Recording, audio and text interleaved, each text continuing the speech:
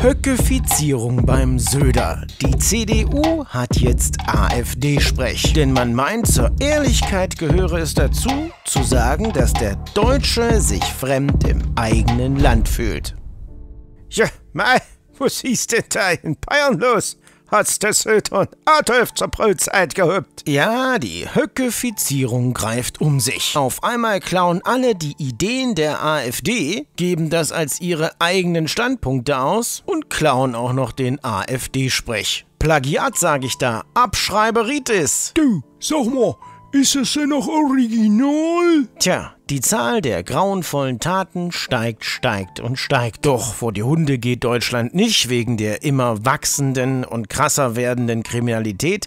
Nein, es ist natürlich die Gefahr der AfD, die permanent besteht. Und das, obwohl die AfD nicht überrepräsentativ in der Kriminalitätsstatistik vorkommt, so wie andere gewisse Gruppen. Und obwohl man jetzt den Untergang Deutschlands angekündigt hat, weil die AfD zweimal 30 Prozent geholt hat und jetzt vielleicht in Brandenburg wieder 30 Prozent und mehr holt, geht Deutschland seit mehreren Jahren beharrlich unter, ohne dass wer großartig was zu sagt. Nun ändert sich das langsam. Und immer mehr Politiker greifen zu drastischen Worten, die man eigentlich eher von der AfD kennt, beziehungsweise bei Frage-Ratespielchen eher das Ganze dem Höcke zuschustern würde. Und ja, wiederholt verwendet der Söder Hückesprech. Und zwar gestern im ZDF-Interview am späten Abend, wegen den Vorfällen in München. So meint der Oberindianer von der CSU in Bayern zu Dunja Hayali wortwörtlich, diese Immigration wächst uns über den Kopf. Bitte auch ganz ehrlich sein, in vielen deutschen Städten fühlen sich auch viele Deutsche nicht mehr zu Hause und sind unsicher, wie es weitergeht. Eieieiei. Das klingt ja ganz stark nach Deutscher ist fremd im eigenen Land. Jetzt wird sicherlich der eine oder andere meckern. Nee, das hat er aber so nicht gesagt. Das ist ja nicht der Wortlaut. Der geht ja ganz anders. So wie die da am Anfang gesagt Das heißt nicht Deutscher fremd im eigenen Land. Das ist schon anders gesagt. Naja, aber bei den Leuten wird es so ankommen. Und gerade bei den Grünen wird das so ankommen. Zum Beispiel Ricarda Lang hat jetzt vor kurzem schon mehrfach die Stimme Richtung Söder erhoben wo man sich fragt, wie lange können sich die Grünen noch zurückhalten, bevor sie ihn Södolf nennen. Und ja, manch ein Grüner fragt sich vielleicht schon, was der Bartwuchs vom Söder soll. Will er sich als ein bestimmter Österreicher verkleiden?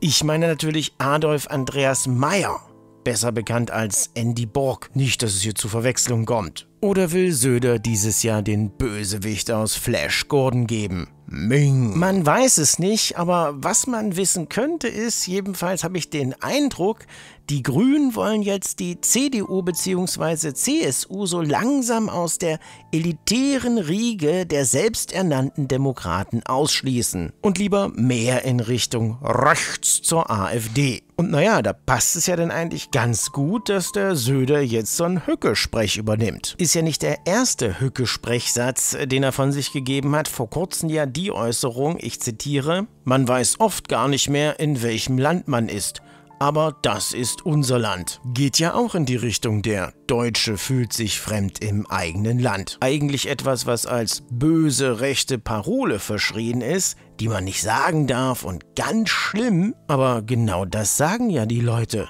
Und zwar nicht bloß einzelne Leute, sondern das sagen ganz viele Leute. Wenn man den Leuten zuhören würde, was ja die Grünen nicht machen, dann würde man das ständig hören. Und wenn Söder sagt, dass man da ehrlich sein muss, gehört genau das zur Ehrlichkeit dazu. So zu tun, als sei das nicht so, so zu tun, als würde es das nicht geben, das wäre ja Lügen. Und es ist ja nun mal so, dass man an öffentlichen Plätzen in erster Linie nicht Deutsche sieht, die dort rumlungern, wo dann allerhand kriminelle Taten passieren und die Leute diese Plätze meiden, beziehungsweise lieber gleich ganz zu Hause bleiben. Weswegen ja zum Beispiel in Bremen ein Weinfest komplett abgesagt wurde, weil auch schon im Vorjahr massive Probleme in der Richtung aufgetreten sind. Abgesehen davon, dass der Platz, der zur Veranstaltung immer verwendet wurde, tagtäglich Ort von kriminellen Problematiken ist. Und ja, auch im Vorjahr sind zu diesem Fest weniger Leute gekommen, weil im Jahr davor schon die Probleme waren. Linksgrüne Bessermenschen leugnen das natürlich alles und behaupten,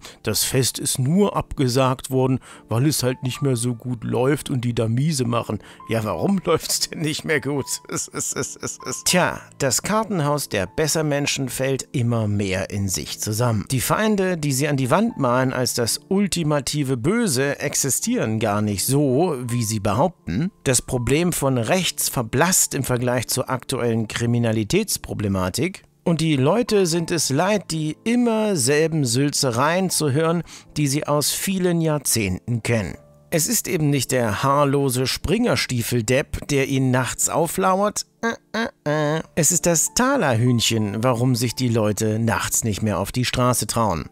Auch Gewalt gegen Frauen möchte man in erster Linie rechts in die Schuhe schieben. Vor kurzem hatte ja die Grünen-Politikerin Emily Bühning die völlig abstruse Behauptung aufgestellt, dass wegen dem Sieg der AfD jetzt Frauen wieder zurück an den Herd müssten um hier den Mythos des gewalttätigen rechten Manns zu bedienen, der seine Frau unterdrückt und an den Herd zwingt. Obwohl es aktuell haufenweise Fälle gibt, wo Täter mit Immigrationshintergrund das Leben ihrer Ex-Partnerin beendet haben. Trotzdem will man solche Fälle generell dem Problem Mann und Männlichkeit zuschreiben. Warum ich als Mann für sowas die Schuld kriege und behauptet wird, ich würde auch sowas machen, ist mir völlig schleierhaft. Aber sowas ist typisch Grüne, typisch Linke, die scheinbar oft einen Hass auf Männer haben und den auch gerne ausleben, dann aber möglichst Männer bevorzugen, die unweiß sind. Diesen absurden Kokolores habe ich noch nie verstanden. Anstatt das Problem beim Namen zu nennen, zeigt man lieber auf jemand anderen und behauptet, der ist schuld. Und dann will man genau den dazu zwingen, sich zu ändern, der gar nicht schuld ist und der auch gar nichts gemacht hat. So gab es ja zum Beispiel 2016 den völlig absurden Fall, wo die Bundessprecherin des Jugendverbands der Linken, Selen Görin, einen deutschen Täter erfunden hat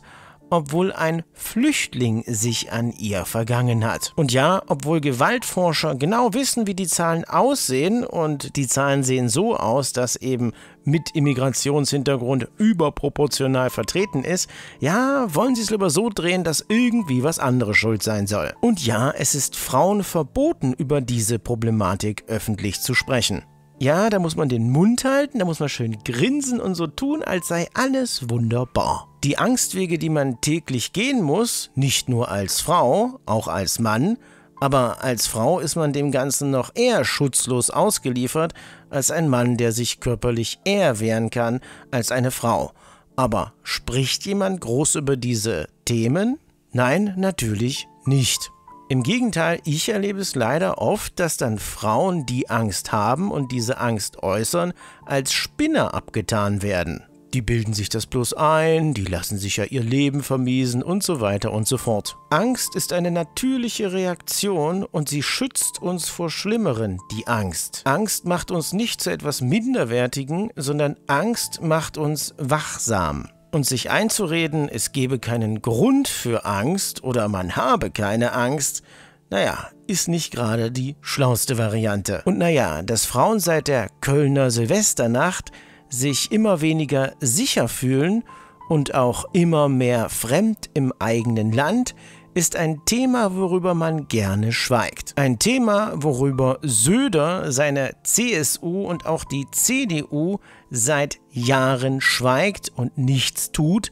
Im Gegenteil, sie sind ja schuld an dem ganzen Kram. Und dass Söder nun nach jahrelangem Nichtstun und unzähligen Opfern jetzt mal sich traut, das anzusprechen, weil die Taten immer schlimmer und drastischer werden, das ist eigentlich purer Hohn. Und auch das großspurige, ständige Fordern vom Söder, die Ampel möge zurücktreten, ist auch lächerlich.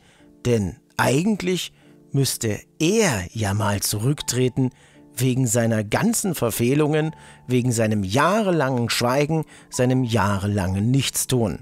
Oder anders gesagt, wer als CSU oder CDU fordert, dass die Ampel zurücktritt, sollte erstmal selber zurücktreten und den Weg freimachen für Leute, die noch Anstand haben. Denn dass ein Söder sich wohl auf einmal hier fremd im eigenen Land fühlen will, also das finde ich ziemlich befremdlich.